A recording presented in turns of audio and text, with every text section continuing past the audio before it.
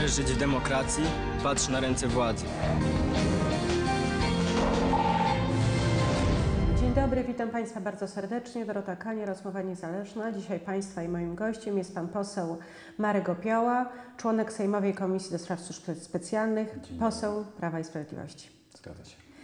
Panie pośle, e, czy Sejmowa Komisja do Spraw Służb Specjalnych kontroluje służby specjalne w Polsce? Czy ma jakąkolwiek kontrolę, tak jak jest zapisane w przepisach, że parlament powinien spełniać funkcję kontrolną wobec przykład ABW? No i nie tylko ABW, tylko wszystkich naszych służb specjalnych. Niestety obecna koalicja rządząca Platforma Obywatelska, PSL i czasami wspiera Sojusz Lewicy Demokratycznej uniemożliwiły nam tą kontrolę. Przykład bardzo prosty. E, nie ma przewodniczącego Komisji do Służb Specjalnych z opozycji.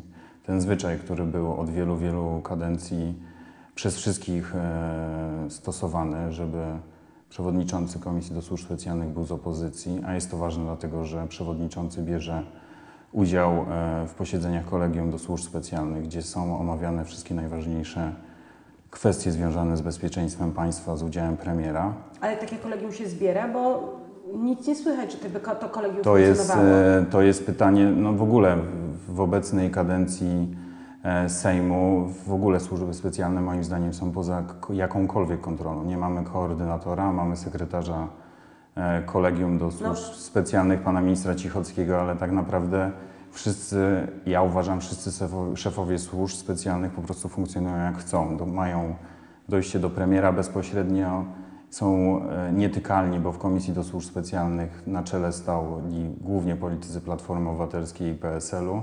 W związku z tym nie ma przepływu informacji, nie można zadawać konkretnych pytań, nie ma posiedzeń Komisji do. Służb Specjalnych. No, no przecież ale premier my, nadzoruje, prawda? Sam y, pamiętamy słynne jego wystąpienie sprzed czterech lat, kiedy poseł Graś był najpierw koordynatorem, spełniał tą No, funkcję, krótko. bardzo krótko, a później premier wystąpił przed kamerami i powiedział, ja biorę w tej chwili odpowiedzialność za służby To jest tylko i wyłącznie PR, bo tak naprawdę jak my konkretnie spróbujemy zadawać jakiekolwiek pytania w następujących kwestiach, na przykład sprawa antykomora, w ogóle Komisja do Służb Specjalnych tą sprawą się nie zajęła, chociaż ja uważam, że tak naprawdę Agencja Bezpieczeństwa Wewnętrznego wyszła poza swój katalog, ustawowy katalog w artykule 5, że realizowała te e, działania, tak naprawdę sama sobie zleciła, sama zrealizowała, a tą sprawą po prostu Komisja do Służb Specjalnych się e, nie zajęła. Kolejną sprawa, e, sprawa aresztowania pana e, Krzysztofa W.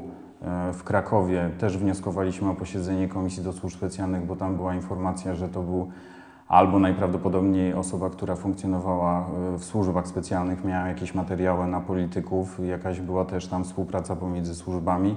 Była kwestia aneksu e, do aneksu komisji weryfikacyjnej, sprzedaż e, tego aneksu i komisja w Rzekoma, ogóle, tak? rzekoma, tak. E, komisja w ogóle też się tym nie zajęła. Ale macie, Teraz- ale macie jednak, ja tutaj y, trochę się pobawię w adwokata diabła, no macie swoje narzędzia komisja, jest możliwość interpelacji, jest możliwość zapytań. Tylko i wyłącznie, jak pani e, redaktor spojrzy na moją, e, na moją stronę poselską, to tak naprawdę są tylko i wyłącznie interpelacje, dlatego że jeżeli ja nie Ale- mogę zadać, nie mogę zadać pytań konkretnie na posiedzeniu Komisji do Służb Specjalnych w trybie tajnym, to zadaję w trybie normalnie przyjętym, jawnym dla każdego z posłów.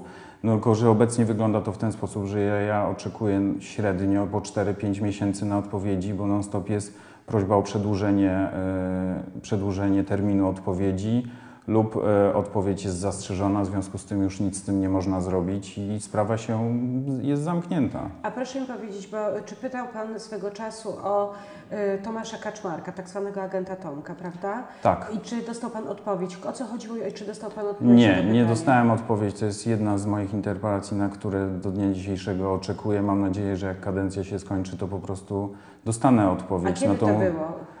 To było bodajże w maju e, Mhm. tego roku. E, tam chodziło o ujawnienie e, informacji przez Gazetę Wyborczą i też oficerów, którzy współdziałali z nim. To są takie kwestie, które po prostu teraz obecna koalicja rządowa jest dla nich to niewygodnie, żeby udzielać nam odpowiedzi, dlatego że tam są, ja uważam, że porażające kwestie, które miały miejsce. No, sprawa pana Bondaryka, która jest e, kwestie związane z jego świadczeniem majątkowym na samym początku. Kwestia była samochodu, też e, nagle znowu e, pojawiła się całkiem niedawno w mediach. Też Komisja w ogóle się e, tymi sprawami nie zajmowała. My chcieliśmy specjalne zwołanie komisji w tej sprawie i wyjaśnienia od premiera, jakie powziął wnioski, jakie decyzje były w stosunku do szefa ABW, no ale jest parasol ochrony nad szefem ABW. Zawsze jest mniej więcej ten sam mechanizm, to znaczy premier Tusk wychodzi, mówi, że tak dalej Wszystko być nie dobrze. może. Najpierw mówi, że tak dalej być nie może, że się zajmie, że dokładnie sprawdzi, że u niego ludzie, którzy łamią prawo, nie mają miejsca mm, w jego, w jego drużynie, jak on to mówi. I później okazuje się, że wszystko jest w porządku. Jeżeli chodzi o pana Bondareka, to jest chyba bodajże chyba jedyny y, szef służb, który nie dostał ym, od kontrasygnaty od prezydenta. Już No tak, no to już nie wspominając tego, że jego powołanie było uważam, że złamaniem prawa i też zwyczaju. skandalem, e, prawda? Dokładnie, w związku z tym.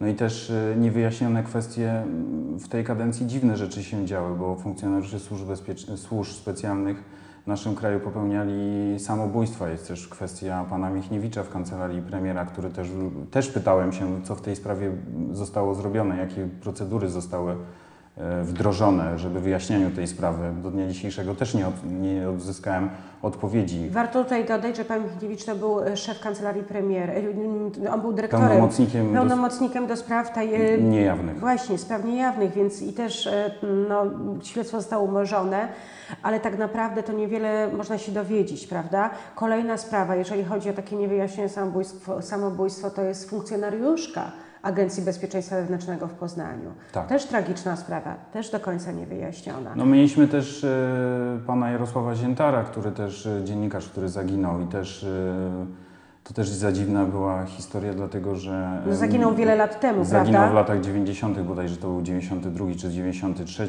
e, To jeszcze był wtedy Urząd Ochrony Państwa i jego namawianie do pracy właśnie w bodajże W wywiadzie. W wywiadzie. Tak. Ale ta dziwna była sytuacja, dlatego że my na posiedzeniu Komisji do Służb Specjalnych mieliśmy tą sprawę, nic się tam nie dowiedzieliśmy i dopiero jak napisałem interpelację, żeby po prostu przeszukać wszystkie, e, wszystkie archiwa i nagle minister Cichocki wychodzi i mówi, że się znalazły e, dokumenty, że był w jakiś sposób e, były werbowany próby przez wywiad, tak. wywiad w Poznaniu. No i, i, ale co się stało dalej, nie kontynu, nikt nie kontynuuje. Dziennikarze jakby nie idą obecnie tych mainstreamowych I nie idą, nie idą krok dalej, ale to jest może o tyle wytłumaczalne, że swego czasu, najpierw y, kilka lat temu y, mówił to y, Zbigniew Siemiątkowski, były szef służb specjalnych za czasów SLD, a później w rozmowie ze mną powtórzył to były funkcjonariusz najpierw SB, a później służb specjalnych UOP-u Henryk Jasik, pan generał Jasik, który powiedział, że służby specjalne na początku lat 90. werbowały dziennikarzy i ci dziennikarze nadal pracują w mediach, więc to,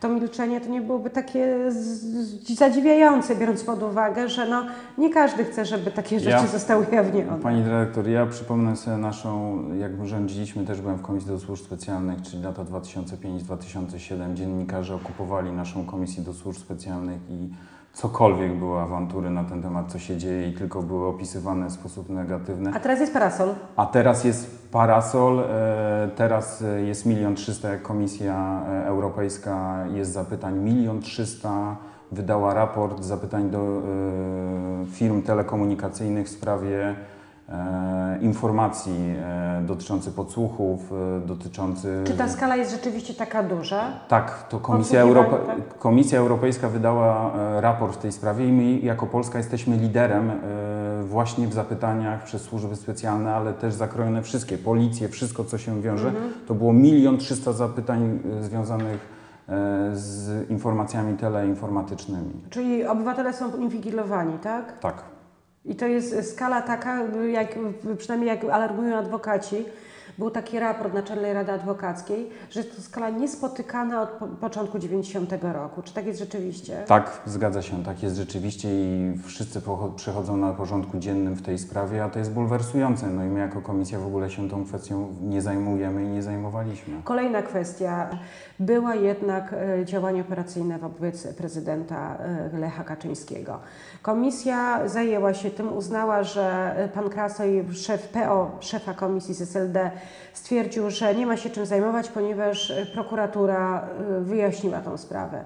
Jakby zapomniał, że prokuratura bada tylko dwa dni. Jest to w papierach, w dokumentach oficjalna odpowiedź tylko dwa dni. I co, dlaczego komisja się tym nie zajmuje? Pani redaktor, ja stawiałem to na posiedzeniu komisji, e, bo wtedy jak ukazała się Państwa pierwsza informacja, że będzie to w tym numerze w środę pełny, obszerny e, artykuł, ja postawiłem tą e, kwestię, zawnioskowałem, żeby komisja zajęła się tą sprawą, że poprosiła szefa Agencji Bezpieczeństwa Wewnętrznego, e, żeby go przepytać na okoliczność tych informacji, które Pani ujawniła i Gazeta Polska ujawniła. No i zadziałał parasol ochronny. Komisja się po prostu stwierdziła, że to jest nic nadzwyczajnego, nie ma czym się zajmować, wyślemy pismo. My się upieraliśmy, żeby e, tą sprawę postawić, żeby komisja wezwała e, pana Bondaryka. Tak się nie stało. Ja napisałem interpelację do premiera, no bo już w tym momencie uważałem, że nie można siedzieć cicho i przejść na porządku dziennym e, w tej sprawie, bo to jest tak poważna sprawa, że prezydent,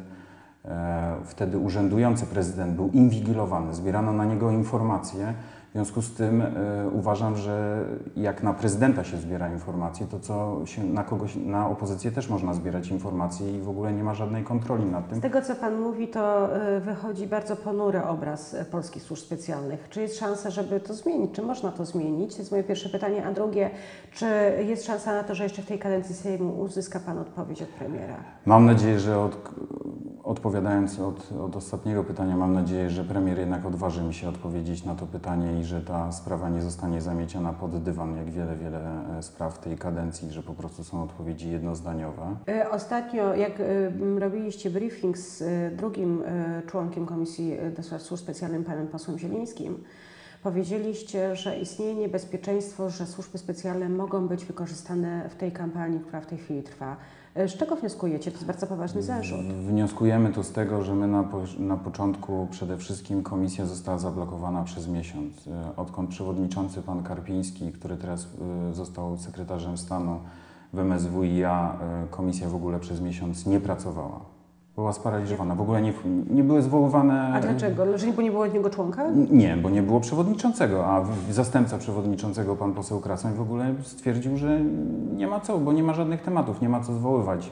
Niestety tutaj nie, nie możemy... Ale jak to nie ma tematu? Przecież był samochód pana Bondaryka, był, była kwestia bezpieczeństwa, Były była inne kwestie, No, są kwestie non-stop. Co, można, jest tyle spraw, które należy wyjaśnić, i, ale nie było w ogóle posiedzeń. Zupełnie została sparaliżowana komisja. My na ostatnim posiedzeniu Sejmu, na tym, co było poprzednio, zawnioskowaliśmy i pan poseł Zieliński zawnioskował wybór nowego przewodniczącego komisji. Złożyliśmy taki wniosek, e, została zgłoszona moja kandydatura i co się okazało, że komisja nie widzi potrzeby, żeby teraz wybierać przewodniczącego. Ona wybierze przewodniczącego na najbliższym posiedzeniu Czyli Sejmu. teraz? Na teraz, na, 15, na 16-17 września. Będzie to zapewne pan poseł Krasoń, I to będzie na dwa tygodnie. żeby tak naprawdę podsumować pracę e, szóstej e, kadencji Sejmu, pożegnać się, życzyć sobie wszystkiego najlepszego w wyborach. No i nadal będzie sparaliżowana komisja, ale przez te, my uważaliśmy, że przez te półtora miesiąca można było nadal pracować, bo jakby kadencja nie kończy się Sejmu. Kadencja kończy się Sejmu do momentu, kiedy nie będzie nowy Sejm e, zaprzysiężony, tam dzień wcześniej. Tak, oczywiście. I w związku z tym można by było wyjaśnić te wszystkie sprawy, ale tak nie będzie, bo wszyscy będą zajęci kampanią wyborczą i znowu służby będą ponad, ponad żadną kontrolą. W ogóle nikt ich nie będzie kontrolował. Dziękuję panu bardzo za rozmowę. Czekamy do wyboru. Zobaczymy, co po wyborach będzie. Dziękuję państwu bardzo. Do Dziękuję. widzenia.